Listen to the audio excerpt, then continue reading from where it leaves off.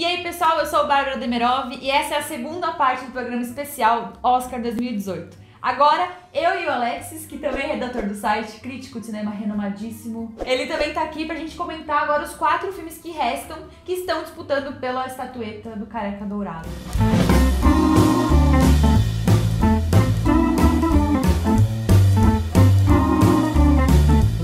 Bom, o primeiro filme que a gente vai comentar aqui é O Destino de uma Nação, com o Gary Oldman, que provavelmente vai ganhar Vai ganhar. o estatueta de melhor ator. Vai ganhar. E aí, o que você acha? Eu acho, dizendo de uma maneira mais direta, assim, eu acho um filme correto. É um filme que não tem é, erros, ele não, ele não é um filme equivocado. Eu só acho que ele é um filme rígido. Ele não é um filme. É um filme de pouquíssima flexibilidade, até porque o filme tem um foco, um pilar, que é ele, que é o Winston Churchill. O ponto, acho pra mim é o seguinte, é, é como eu repito, ele é um filme correto. tal. Eu acho que a flexibilidade de roteiro é sempre legal, porque o próprio filme dá brecha pra ter isso. Então, assim, o que vai destacar positivo é realmente o Bruno Debonel, que é o fotógrafo que tem uns momentos bem legais, Ótimo, ótimo. tipo a cena do... Do bunker, inclusive, do que ele bunker. tá no meio, centralizado, tipo, no meio assim da Sim. janela e tá Sim. Sentindo preso, que é uma coisa que eu até falei no meu texto. É claustrofóbico. Amei. Fica bem, parece que tá embaixo da terra mesmo. Exato. E É. a guerra que, ele, que o filme conta, retrata, não é só a Segunda Guerra, mas Sim. também a guerra dentro do Churchill. Tipo, no que ele tem que escolher pra, pra salvar os Estados Unidos. O salva, opa, salvar a. Ah, Inglaterra, Inglaterra, Inglaterra, É. né? Então, assim, além dessa cena, aquela, aquela nos bucks claustrofóbica, outra muito legal é quando ele vai conhecer o rei George, quando ele é- vai ser, ele é, É. nomeado primeiro-ministro, e aí é uma câmera que faz tipo né, uma viagem Isso, assim, é um dele caminhando até o rei George. Que Isso- também tá super assim incomodado com a presença E muito do bom Churchill. ator. Ótimo. pouco que aparece muito bom. É. Ben Mel, Men- Mendelsohn. É, ele fez ben Mendelsohn, isso. Então ele é geralmente muito bom quando aparece. E o Gary Oldman, que é outro grande detalhe do filme, além da fotografia. Mesmo tá? com maquiagem, né? Muita maquiagem. Sabe aquela coisa técnica, tipo assim, todo mundo fala assim que Daniel Day-Lewis, que é outro que tá concorrendo ao Oscar, é um dos grandes atores técnicos. O Gary Oldman também é. Ele, é ele até o apelido dele entre os atores é de camaleão, shapeshifter, É. essa expressão que normalmente usam. E, e de novo ele faz isso. E faz isso muito bem, porque é aquela coisa, ele pediu pro Joe Wright quase um ano para criar, construir a personagem da maneira dele. Quando você dá tempo pra um cara desse, tecnicamente você sabe que ele vai cumprir a ideia Ele vai. tá? E realmente ele cumpre. E é uma, uma atuação muito boa. Principalmente quando ele tá andando. Quando ele tá andando, que ele Sim, põe aquela mãozinha nas costas dele, você vê uma, uma figura assim. Ele realmente vira uma figura, sabe? Aham. Assim, ele, ele fica magnético você vê ele. Eu não via É. muito do Gary Oldman, eu tentava procurar ele. Eu só via a- em relances, assim, no olhar dele. Eu lembro. É difícil pra mim, sabe que encontrar. pegava? A voz. A voz, titu- aquela voz ele titubeante. A voz titubeante dele, que é da Ele personagem. grita muito. Mas ao mesmo tempo, quando ele grita, é quando você percebe o Gary Oldman. É, exato. Você É, ah, isso aqui é a voz, é, essa aqui é a voz do Gary Oldman. Então, assim, é um filme legal. é, talvez, não, como tem coisa histórica, muita gente que gosta de filmes tipo filme de guerra, que nem Dunkirk, vai se interessar. Os filmes se Entendeu? completam, é muito interessante isso, É, né? é. Dois filmes no mesmo ano, competindo no melhor filme, Dunkirk O Destino de uma Sobre o mesmo tema. Sobre o mesmo tema. Mesmo tema, mesmo- a É. mesma época. É a mesma muito época. bom. A mesma época. Então, é um filme legal pra se assistir. Vale assistir. Principalmente pra quem gosta de coisa, coisas históricas, filmes de guerra, assim. Biográfico. Em filmes britânicos, tem uma categoria, filme britânico, todo mundo adora filme britânico, tipo Discurso do Rei, Sim. Brooklyn. Tem, a gente, tem uma galera que adora essas categorias. Então esse é outro, esse é a, é a cota britânica do Oscar. Todo mundo É. tem um britânico, esse é a cota britânica. Bom, o próximo filme que a gente vai comentar aqui é um filme que eu, como jornalista, eu saí do cinema muito feliz, porque é Spielberg, é jornalismo, é ética, é Meryl Streep, é Tom Hanks, é The Post. The Post não tá entre os meus favoritos, mas é um filme que eu acredito também é bem correto. Não é aquela coisa, nossa, obra-prima. Não é o Spielberg que a gente via décadas atrás. Não mesmo, mas é um filme bem executado que eu, e que entrega uma, uma mensagem atual, política, social. Eu acho que é isso que é o poder do filme, né? Eu gosto muito. Meryl Streep é a vigésima primeira indicação dela ao Oscar. primeira, né? É, vigésima primeira. Não é uma das melhores, eu não gosto, não. Eu gosto, mas calma. Mas Menos, menos. menos, mas menos. assim, o filme como um todo eu me emocionei porque, né, eu sou suspeita pra falar, mas assim, você que tava do outro lado, assim, o que, que você sentiu? É, é o, é o que eu coloquei até no, no, site, no Cinematecano. É um filme importante. Acho que esse é o melhor elogio que eu posso dar pra ele. Ele é um filme importante porque ele é de agora, 2017, no caso que eu do filme, 2018. E é um filme que é uma clara, clara, clara, clara mensagem pro Trump. Tem dois filmes no Oscar assim, The Post e A Forma da Água. Esses dois é uma clara mensagem, não tem tem vários motivos, Forma d'Água tem aquela coisa de direção de arte incrível, de fotografia e tal, mas é, no âmbito da história, no roteiro, no enredo, tem uma mensagem pro Trump. The Post é ainda mais direta. Para mim, o que pega é assim a questão que é o cinematográfico. É pra você passar uma ideia, tem que ter uma transmissão legal. Realmente legal. E tentar fugir o máximo possível daqueles clichês, daquelas cenas que nem, por exemplo, tem uma cena no filme que é bonita, eu sei, que é a cena que logo depois que tem a questão do, do jornal, do, do, do, do, publicar, do, de- publicar. do- é, do, não, do processo, quando você sabe que a justiça favoreceu o The Washington Post. Tem uma cena com a secre- uma secretária na, na- no telefone e ela narra para as pessoas do jornal e para você que está espectador na cadeira o que acontece na cena. E a Carrie é maravilhosa. É a Carrie Coon, e a, e a Carrie Coon, a gente adora a Carrie Coon. Então, assim, ela narra praticamente, ela, assim, sabe aquela coisa de explicativo demais? Tem uma coisa que todo, mundo, que todo mundo fala que é o seguinte, às vezes você não precisa explicar para o público, o público é inteligente, ele vai entender. Esse filme é meio que tipo assim, você não entendeu? Verdade. Então eu vou explicar de novo, eu vou explicar de novo. E nisso não é, falta um pouquinho de sensibilidade nessa coisa de passar a mensagem, que é bem fácil de entender. Que eu falei, é um filme sobre duas coisas. Um, a, uma opressão que a, que a mulher sofre, no caso da personagem feminina da Streep, num meio que era, na época, e até hoje, sem dúvida, é muito mais masculino. E naquela época, então, ela sendo a dona É. do jornal é mais ainda. E a outra é a liberdade de imprensa, que é o tema principal. Então, esses temas à parte, que é, que é uma coisa isolada que eu falo que são importante, ele é um filme que faz muito pouco. Porque, por exemplo, fotografia pouco inspirada, cenário muito fechado. Sim. Então, assim, e o, e o, o diretor de fotografia, qual é o nome dele? Janusz Kaminski, né? Eu lembro como é que é, Janu- Janusz Kaminski, isso. Ele já teve trabalhos mais legais com o Spielberg, exemplo o anterior, O que Ponte. é o Ponte de Espiões. Que é, É. a meu ver, o melhor filme do Spielberg nos últimos 10 anos, pelo menos, dessa década, vai, pra fechar. Então, The Post é isso. É legal, é importante. É, mulheres e jornalistas, que nem a Bárbara. É óbvio que isso a mensagem vai chegar direto e vai tocar intelectualmente e, e vai ser de coração. Acho que é nisso o Spielberg acerta. Acho que poderia ter sido um pouquinho mais cinematográfico, de repente, para fazer um, um filme melhor. Não uma mensagem melhor, sim, mas já, já é. Mas um filme melhor.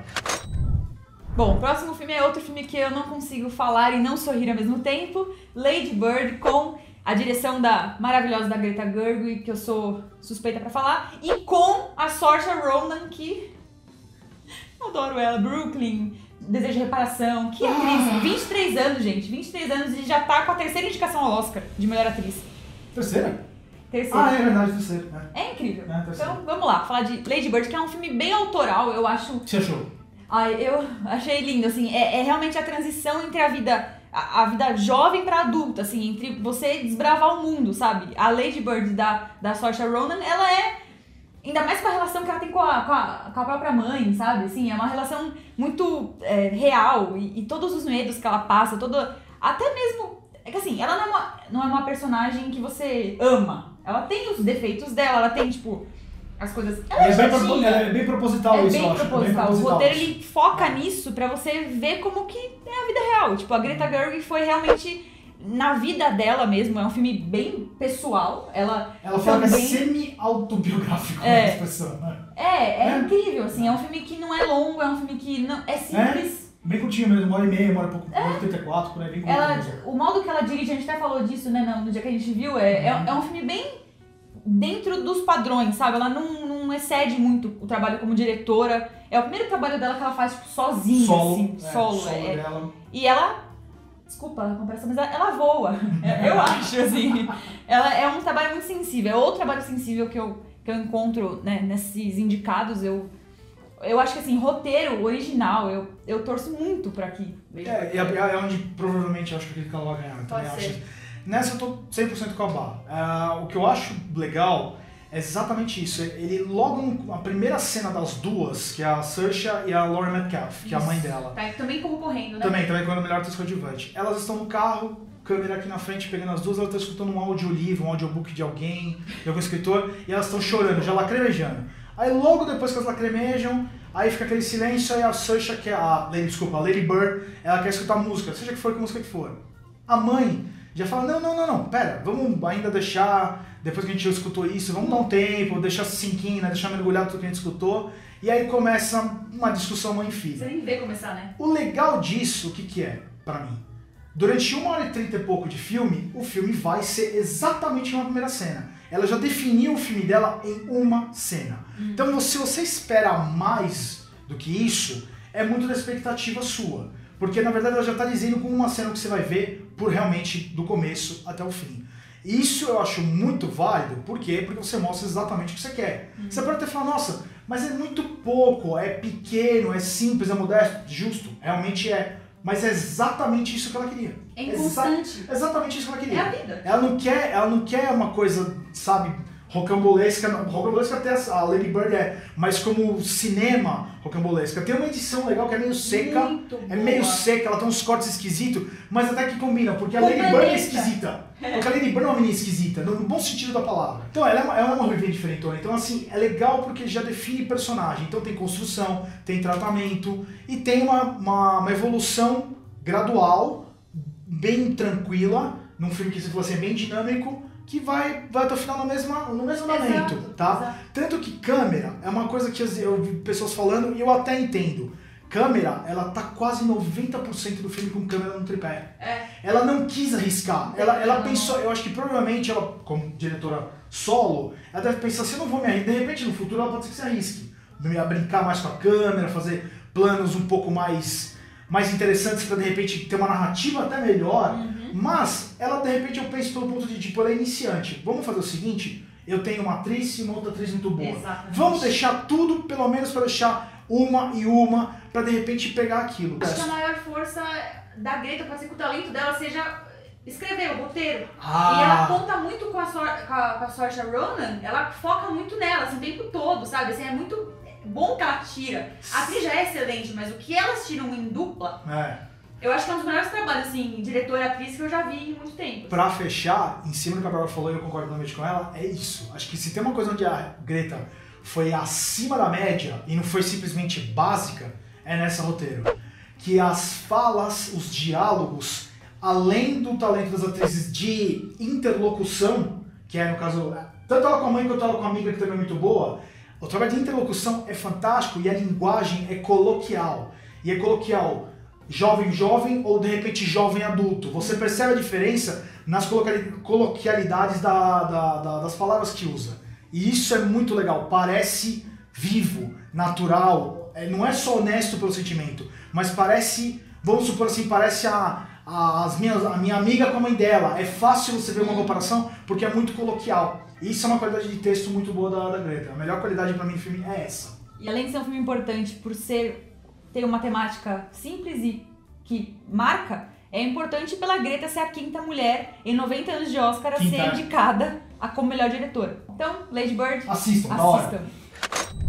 Bom, agora por último, fechando, ah, Trama Fantasma. Trama Fantasma que é supostamente o último, supostamente o último filme da carreira do Day-Lewis, né? Eu Porque espero que não. Ele anunciou a aposentadoria, mas vai, vai, que, vai que muda de ideia, né? Pessoas mudam de ideia, vai que é, muda de ideia e volta. muda. Mas aparentemente esse é o último. Dos que eu comentei até agora, sem dúvida é meu favorito. Eu acho. Eu diria assim, ele provavelmente é um filme que tem uma. Um tema que é- não tem muito a ver com temas sociais, coisas que passamos recentemente, coisas como sociedade que são importantes. Ele realmente não tem. Ele é realmente uma história mesmo, não vou dizer intimista, mas sobre um tema que é bem raro, que é basicamente, dizer, a maldição do artista. A maldição do artista. E o filme tem essa palavra maldição mesmo, não estou inventando aqui. Bom, o Daniel Day-Lewis, na história do Drama Fantasma, ele é um estilista, sabe aquela coisa de autocostura, né? É Coisa bem antiga, uma expressão bem antiga. E ele é o cara lá na, na- na Inglaterra. Ele é o cara, as pessoas, as mulheres querem todo o vestido dele, para ele no restaurante pra falar, eu queria morrer com um vestido teu, eu quero que você esteja enterrado com o vestido teu. Realmente essa cena que fala, mas bem no começo do filme, no 10 minutos eu falo, eu quero ser enterrado com o vestido teu. Então é, é bem interessante isso.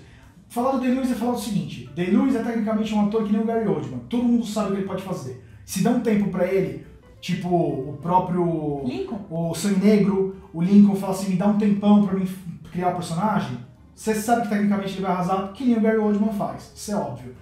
A diferença nesse filme, que eu acho que é uma coisa que provavelmente vai surpreender muita gente, é que na prática, você pode até falar, ó, ele é melhor ator, então significa que ele é o protagonista. Não, ele não é o protagonista da história. Quem conta a história, a narrativa, é pela Vicky Cripps, que é a alma, que é a moça que ele encontra, se você ver o trailer, é a moça que ele encontra no restaurante, bistrô. Então o filme é o ponto de vista dela sobre ele.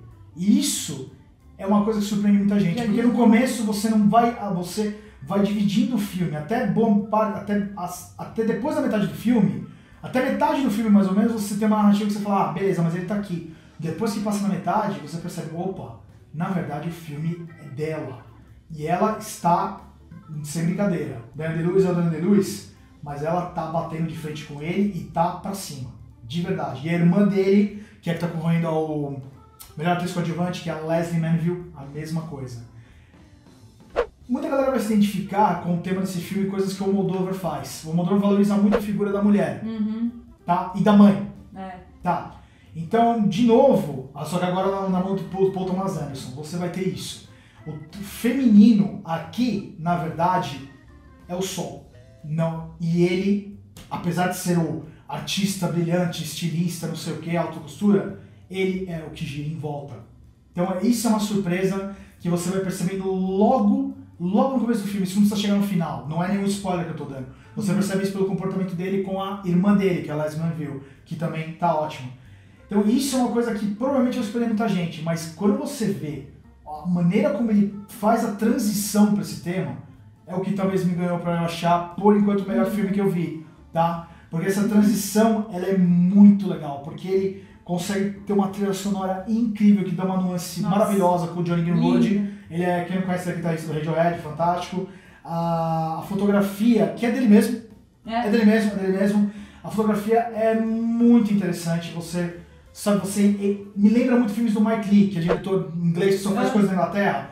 Você se sente realmente na Inglaterra, assim, pelo clima, as xícaras de chá, as cortinas, todo aquele visual esplendoroso, por assim dizer, tem lá. E isso o Paul Thomas Anderson fez muito bem, que é o primeiro filme que ele faz fora dos Estados Unidos é esse. É o primeiro. Eu sou então ele conseguiu, ele, cons- é, ele conseguiu fazer muito bem isso no- lá na, na- na Inglaterra. Então esses detalhes, uma atuação muito boa do Andrew Lewis, que ele tem uma cena lindíssima, não vou falar nada, mas ele tem uma cena lindíssima, se vocês chorar, não estranhem, vocês vão, porque eu, é, então, é, eu também, eu emocionei bastante dessa cena, porque ela é lindíssima, e vocês vão ficar surpresos pela, pela essa saída e essa transição do roteiro, e o quanto a Vicky Cripps, que é a personagem, que é a Alma, e a irmã, que é a Leslie Manville, que é a que está correndo com a atriz coadjuvante, o quanto elas estão batendo de frente com o The Lewis e o quanto elas brilham até mais. Mas não tenha dúvida que é um ótimo filme. É, para quem gosta de, de costura, moda, vai de repente ter um filme. Ah, tá correndo melhor figurino. Aham. Melhor Pode ser figurino. que ganhe, gente. É, eu esse é o que problema eu... que ganha. É o problema que ganha. Então, que melhor figurino é lindo, cara. Tipo, o filme é visualmente lindo, a trilha sonora é gostosa, os atores estão bem, assistam a Trama Fantasma, sem dúvida.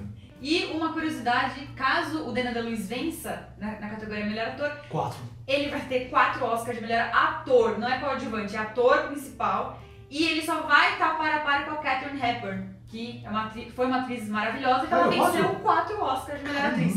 Então, assim, ninguém, gente, nem mesmo Meryl Streep, que tem 21 indicações, o, o, o Daniel DeLuise, ele foi indicado quatro vezes, se eu não me engano. Ele, ele venceu todas que ele foi indicado. Todas? Vamos corrigir no vídeo se eu estiver errada, mas sim, isso é um ator maravilhoso. Sem dúvida. Então, Isso. volta The Lewis, tá? Volta, volta. Hashtag volta The Lewis. Volta da luz. Bom, galera, então essa foi a nossa recapitulação aí dos nove filmes indicados ao Oscar, com o Caio e com o Alexis. E, bom, esse ano é um ano muito importante pro cinema. São nove filmes muito bons e muito bons, no geral. É, tem, tem realmente os filmes ótimos, assim. Eu, eu Trama Fantasma e Mexeu pelo Tsunami é os que mais me vem à cabeça. Não tem nenhum filme ruim, vai, ruim, assim. não Ruim, tem. ruim não já teve, mas nesse ano Exato, não ruim. É. exatamente. Então, assim, tá para a par com três anúncios e Forma da Água, É, que é os provavelmente que vão. É os, que vão levar. é, é os que eu acho que é os mais, mais queridinhos para o É, momento. é. Mas assim, no geral, nós tivemos muitos presentes em formas de filme. Então a gente tá muito feliz por estar cobrindo essa, essa temporada que tá super especial. Sempre é uma época legal essa. Sempre, é a melhor época. Porque você vai no cinema ver uns filmes da hora. Às vezes, de repente, não, mas às vezes é um filme da hora. Exatamente. É. Então, muito obrigada a você que assistiu a gente aqui nesses dois programas. O Oscar é dia 4 de março. Hum. A gente vai cobrir o Oscar. E é isso aí, gente. Não esquece de se inscrever no canal, deixar o seu joinha e comentar aqui qual que é o seu filme favorito dessa temporada. E vão ao cinema assistir.